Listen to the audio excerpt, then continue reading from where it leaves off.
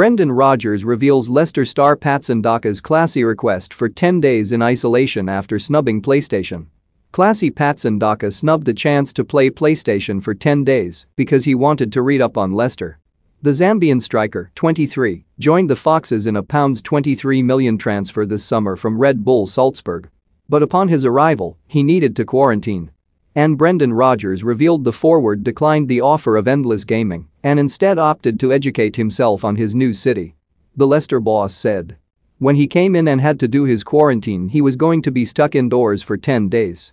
The club were great in asking him what he wanted tellies, playstations or whatever else in his room. He didn't want anything. Just some books.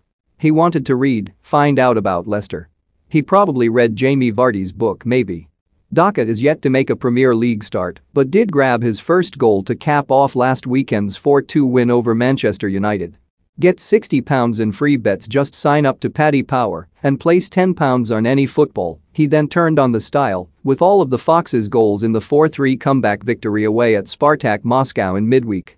Daka's four strikes made club history as he became the first Leicester player to score a European hat-trick and the first player to hit four in one game for 63 years.